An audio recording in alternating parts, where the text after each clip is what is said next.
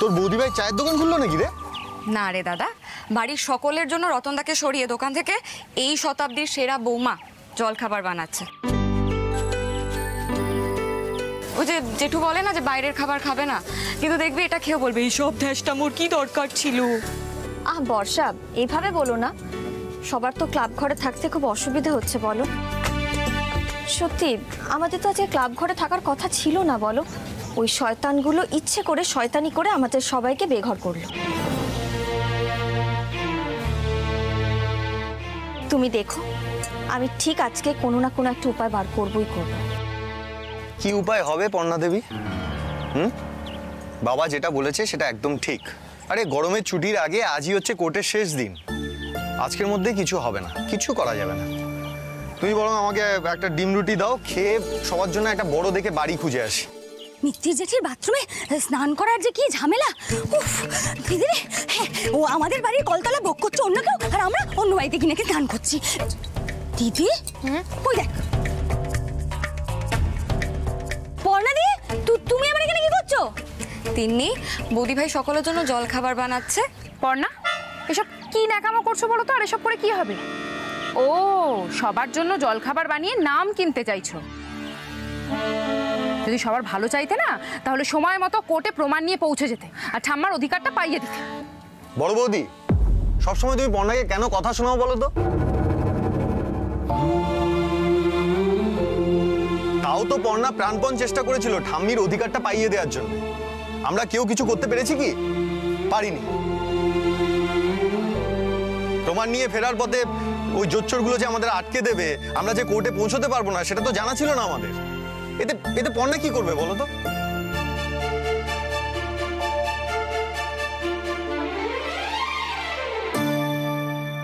চল বোন এখানে কথা বলাই ঝামেলার ইদানিং না নতুন নাটক হয়েছে।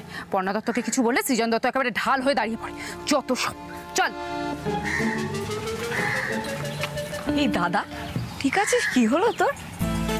আসলে নিজে আগে ডিম পাউরুটিটা পাবে তো। সেই জন্যেই একটু বউয়ের পাশে দাঁড়িয়েছে। ওরকম হয় মাঝে মধ্যে। বর্ষা, তুমি এক কাজ করো, বুঝলে? তুমি এই ডিম পাউরুটিগুলো ভেতরে নিয়ে যাও। আর আমাদেরকেও তো এক্ষুনি কোর্টে বেরোতে হবে। এই সৃজন, শোনো না, তুমি একবার ভুবন বাবুকে একটা ফোন করো। দেখো, পুলিশ তো আমাদের ফোনগুলো ফেরত দিয়ে গেছেন। তুমি একবার ফোন করে, ওনাকে বলো এক্ষুনি কোর্টে চলে আসতে। আমি কিন্তু এত সহজে হাল ছাড়বো না। দেখেছিস বর্ষা? কেমন তোর বৌদি ভাই আমার মাথাটা গরম করে? আরে আজকের মধ্যে কীভাবে উল্টো কেস করে রায় বের করা সম্ভব হবে বলবে? সত্যি আমার এই ঝামেলা আর ভালো লাগছে না তোর এগুলো নিয়ে যাও। ডিম্বাউটিটা হেভি হয়েছে। হ্যালো ভুবন কাকু?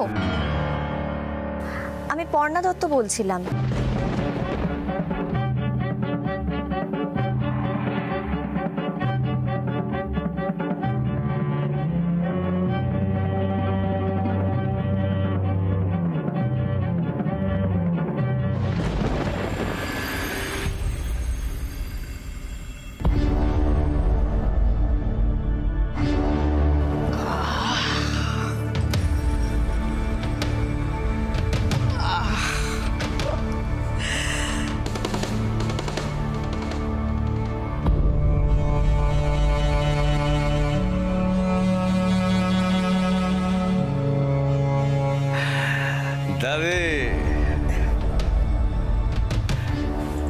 লাগছে?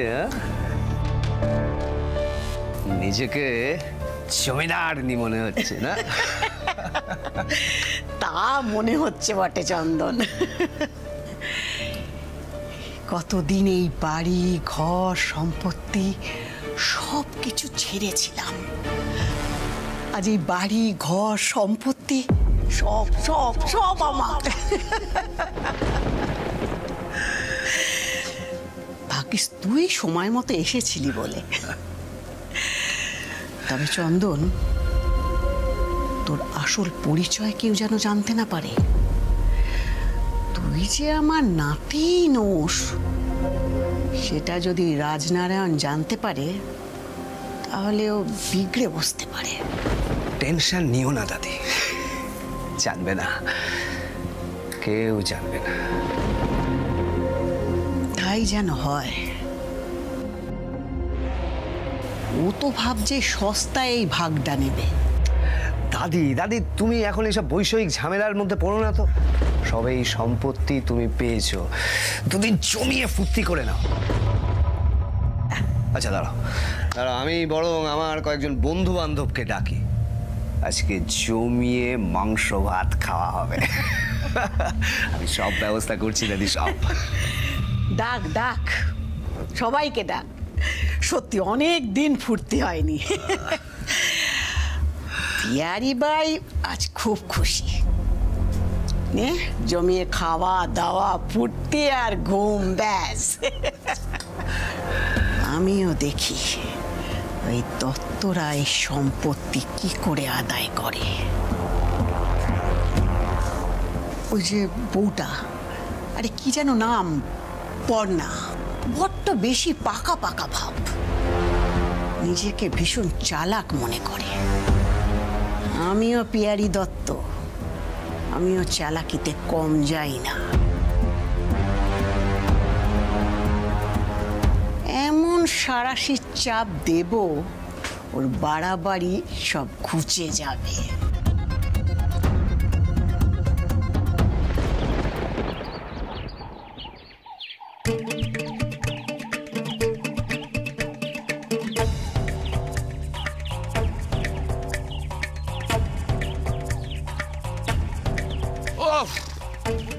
বাপরে বাপ কি গরম।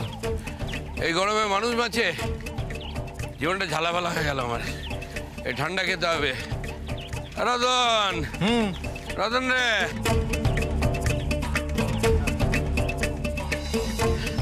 ঠান্ডার দাম কত? বারো টাকা। কত? বারো টাকা। টাকা হচ্ছে। এই দেখ, ঠান্ডার দাম বারো টাকা? হ্যাঁ বারো টাকা। হ্যাঁ? খাব না যা। নিজে খা। বাবা। পাঁচ টাকা দিবি? না হবে না। দেখেছ তো? জেঠু কি যে বলে না? দাঁড়া আমি কিনে দিয়ে আসি। রতন এক কাজ কর তুই। একটা করে বোতল খোল নিজে খা। ওই বারো টাকা দিয়ে বিক্রি হবে না। গ্যাসটা মজা ধুর, ধুর। বাবা বাবা হ্যাঁ? তুমি কোনটা নেবে নাও না আমি টাকা দিচ্ছি। এলেন আমার লাট সাহেবের বাচ্চা। বারো টাকা দিয়ে ওই বোতল আমি খাব। কোনোদিন খাব না। জোর চুরি করছে। পাঁচ টাকা দাম হওয়া উচিত ওর। বাবা এটা কোনো কথা হলো? নাও না আমি তাই টাকা তুই চুপ কর। হ্যাঁ, যত সব ঠান্ডা। খাবেন দাদা ঠান্ডা। এই তো এসে গেছে। এইটা খাব এইটা খাব। বলুন হ্যাঁ, এই কালোটা বের কর কালোটা বের কর। কালোটা? কালো কালো। আচ্ছা আচ্ছা দেখি দেখি দেখি। দেখি এই নেন, এই নেন। সোনা জেলে সোনা জেলে মিষ্টি জেলে কত দাম কত দাম? পাঁচ টাকা। হ্যাঁ পাঁচ টাকা? দেখলি?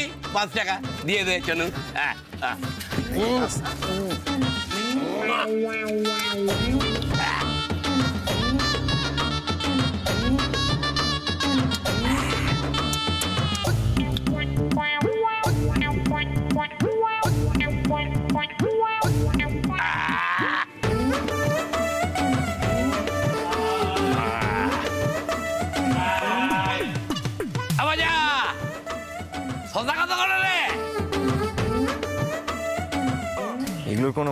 বলো তো বৌদি ভাই। না না, চয়ন। আমার না একদম ভালো লাগছে না, জানো তো? বাড়ির প্রত্যেকে খুব কষ্ট পাচ্ছে। যেভাবেই হোক, আমাদের কিন্তু আমাদের বাড়ি ফেরত পেতেই হবে। আর ঠাম্মির দিকে তো তাকানো যাচ্ছে না। ভাগ্যিস মানিক দ্বারা বুবাইকে আর ঠাম্মিকে ওদের বাড়িতে জোর করে নিয়ে গেল। নাহলে কি হতো একবার ভেবে দেখেছ? না আমার মাঝে মাঝে মনে হয় তোমাকে মনে করিয়ে দেওয়া দরকার যে আমরা মানুষ। আমরা কিন্তু ভগবান নই। মানে? মানে আর কি? তুমি এমন এমন সব প্ল্যান করো যেটা শুধুমাত্র ভগবানের পক্ষেই সলভ করা সম্ভব। যেমন আজকের বিষয়টা। আগে গিয়ে দেখো ভুবনবাবু কি বলেন। আমি তো বলছি বর্ণা বারবার বলছি যে গরমের ছুটির আগে কিচ্ছু করা যাবে না। আমরা শুধু শুধু কোর্টে ছুটছি। তুমি যে কেন বুঝতে চাইছো না আমি জানি না। জয় জয় জগন্নাথ। চয়ন তোমার মেজদাকে নিয়ে এসো। আরে দেখলি শোনো তোর বৌদিভাই কেমন আমার কথাটা এড়িয়ে চলে গেল? আরে বলল তো। জয় জগন্নাথ। চ চ চ চ চ চ চ চ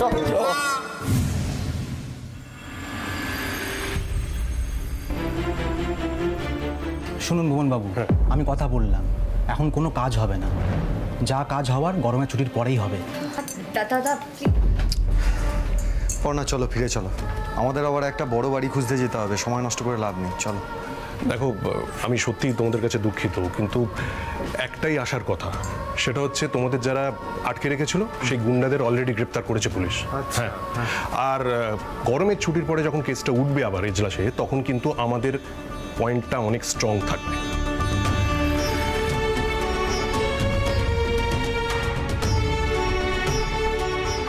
আচ্ছা বলছি জজ সাহেব যদি নিজে বলেন যে উনি বিচার করবেন তাহলে তো ওনাকে কেউ আটকাতে পারবে না তাই না? না কিন্তু ব্যাস আর কোনো কিন্তু নয়।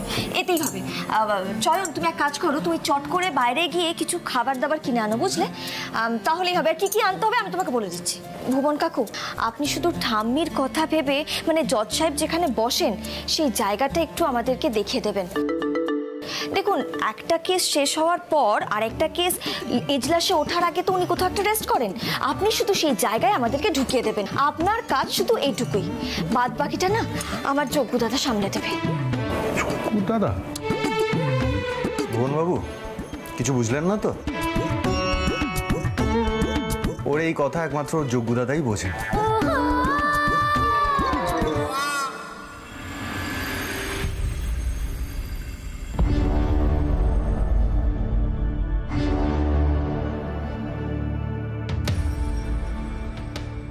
শোনো তোমার কথার উপর ভরসা করেই কিন্তু আমি এত বড় একটা রিস্ক নিতে চলেছি। চিন্তা করবেন না সব ঠিক থাকবে দেখবেন? আচ্ছা বেশ।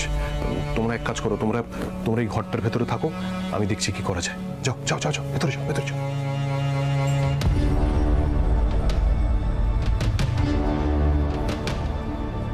হরিরাম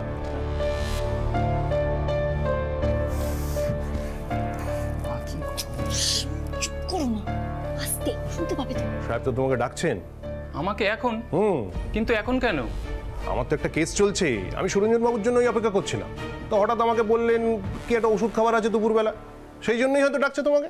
ওষুধ? হুম। কিন্তু উনি তো বলে গেলেন যে ফিরে এসে ওষুধ খাবেন। এ তো শুধু প্রশ্নই করে চলেছে। আরে তোকে যেতে বলছে তুই জানা। না না আমার মনে হচ্ছে হরিরাম উনি বোধহয় এখনই চাইছেন ওষুধটা। তুমি গিয়ে দেখে এসো একবার যাও। তাহলে স্যারের কি শরীর টরীর খারাপ করছে নাকি? আমি গিয়ে দেখ যাও যাও যাও গিয়ে দেখে এসো যাও হ্যাঁ।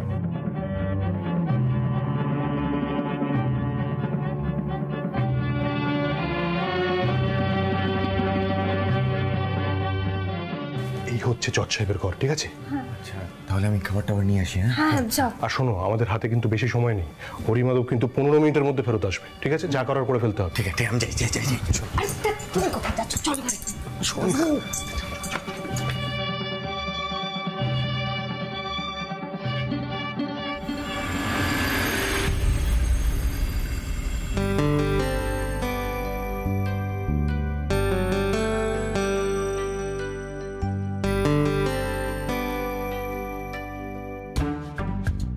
এসব কি হচ্ছে বলো তো?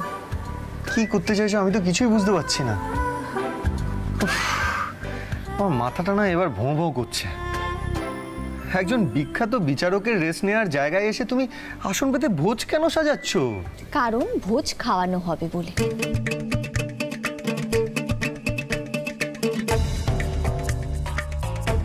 ভোজ কে কে খাবে? তুমি খাবে। শোনো আমি পরিবেশন করব আর তুমি শুধু তাড়িয়ে তাড়িয়ে খাবে। শোনো বুঝতে পারছিস কিছু? আগে শুধু ছদ্মবেশ নিতাম। এখন আবার তোর বৌদি ভাইয়ের কি নতুন পদ্ধতি চালু হলো কে জানে? উফ তোমাকে এত কিছু জানতেও হবে না বুঝতেও হবে না।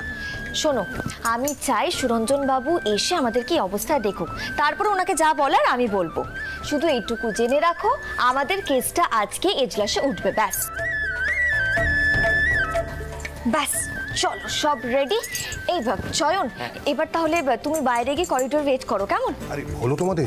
হরিরামের কিন্তু ফেরার সময় হয়ে গেছে। তাড়াতাড়ি করো। হ্যাঁ sir all set all set চলুন আমরা বাইরে গিয়ে চলো চলো চলো চলো। আরে তুমি দাঁড়িয়ে পড়লে কেন? বসো বসো বসো।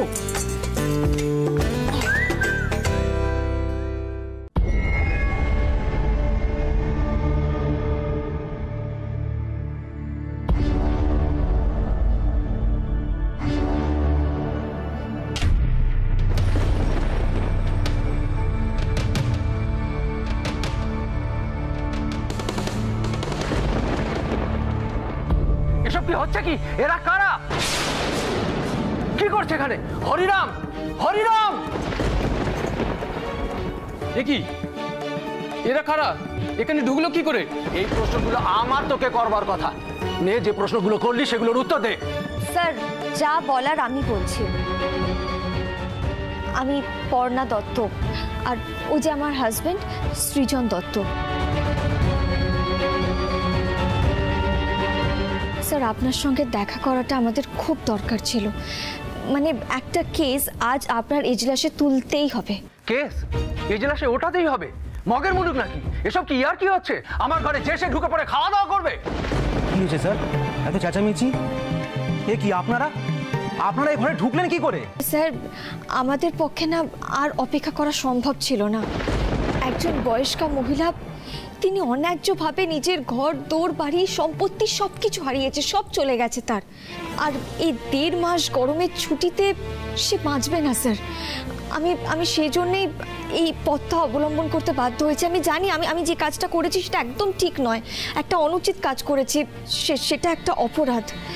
কিন্তু স্যার, আমি ওনাকে রিকোয়েস্ট করেছিলাম যে এই কেসটাকে অন্তত একটু অন্যরকমভাবে দেখার জন্য।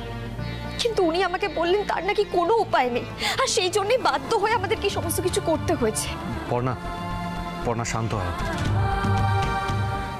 দেখো, ওরা কেন আমাদের সেন্টিমেন্ট বুঝবে বলো? আর আদালত তো তার নিয়ম মেনেই চলে, তাই না? স্যার স্যার, আমাদের ভুল হয়ে গেছে। আমাদের ক্ষমা করে দিন। আমরা এক্ষুনি এখান থেকে চলে যাচ্ছি। এখান থেকে কোথাও যাব না আর তুমিও যাবে না। আরে পর্ণা কি করছেন বলুন তো আপনারা?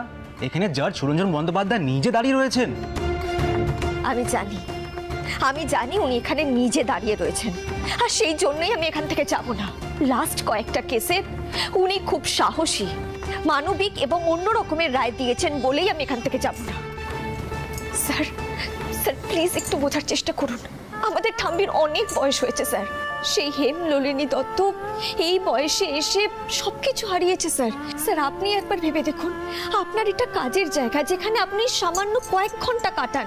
সেই জায়গায় আমরা ঢুকে পড়েছি বলে আপনি এই পরিমাণ রেগে গেলেন।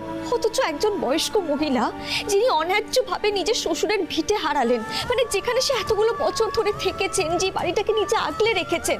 আজকে এই বয়সে এসে তাকে গৃহহীন হতে হলো অন্যায়ভাবে। তার কতটা খারাপ লাগছে? আপনার মনে হয় না এর একটা বিহিত হওয়া উচিত, একটা বিচার হওয়া উচিত? স্যার, আমি সত্যি সাহস করে আপনার ঘরে ঢুকেছি। কারণ আমি আপনাকে বোঝাতে চেয়েছিলাম, আপনাকে দেখাতে চেয়েছিলাম যে অন্যায়ভাবে যদি কেউ অন্যের জায়গায় ঢুকে এসে দাপটের সাথে থাকতে শুরু করে, তাহলে আসল মালিকের কতটা কষ্ট হয়, কতটা খারাপ লাগে?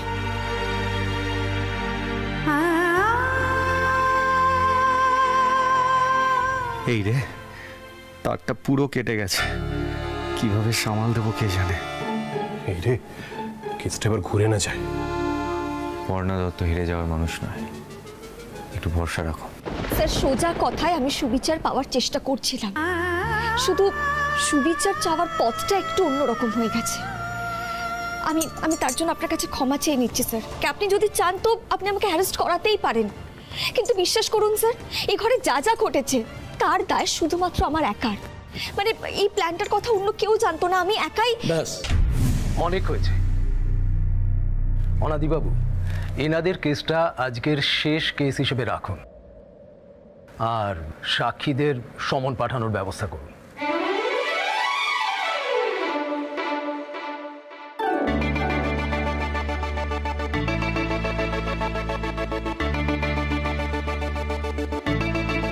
সত্যি আজব কাণ্ড কারখানা একেবারে আমার ঘরে পাত পেড়ে বসে খেতে শুরু করে দিলেন।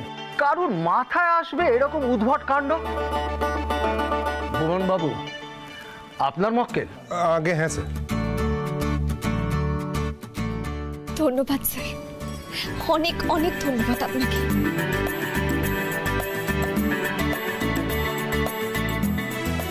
থ্যাংক ইউ যোগ্য দাদা। তোমার বোনকে বাঁচানোর জন্য।